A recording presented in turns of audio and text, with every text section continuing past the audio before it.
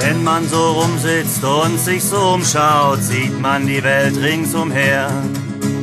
Und wenn sie schön ist, benimmt man sich so, als ob man ein Teil von ihr wäre.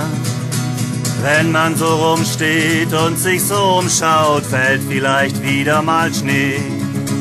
Und es wird Abend, wo ist die Liebe, ist sie da, wohin ich jetzt geh? Während du lachst, sind viele andere traurig.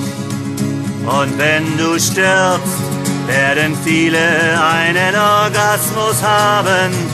Das hört sich schlimm an, ist es aber nicht ganz.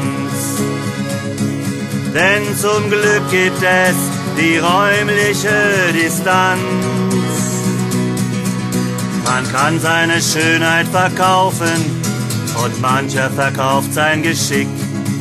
Man kann seine Kraft verkaufen und manche verkaufen ihr Glück. Manche verkaufen Geheimnisse, manche nehmen sie mit ins Grab. Ich verkaufe meine Liebe, das Beste, was ich hab. Während du schläfst, haben andere Hunger. Und während du frühstückst, bringen andere sich um. Das hört sich schlimm an, ist es aber nicht ganz. Denn zum Glück gibt es die räumliche Distanz. Wenn man so rumläuft und sich so umschaut, sieht man vielleicht was, wer weiß. Und es wird morgen, ist das die Freiheit, fragst du sie nach ihrem Preis. Was ist das Gegenteil von nichts, hab ich dich einmal gefragt. Ist es etwas oder alles? Küss mich, hast du gesagt. Während du verliebt bist, sind andere völlig verzweifelt. Und während du verwöhnt wirst, werden andere von Bomben zerfetzt.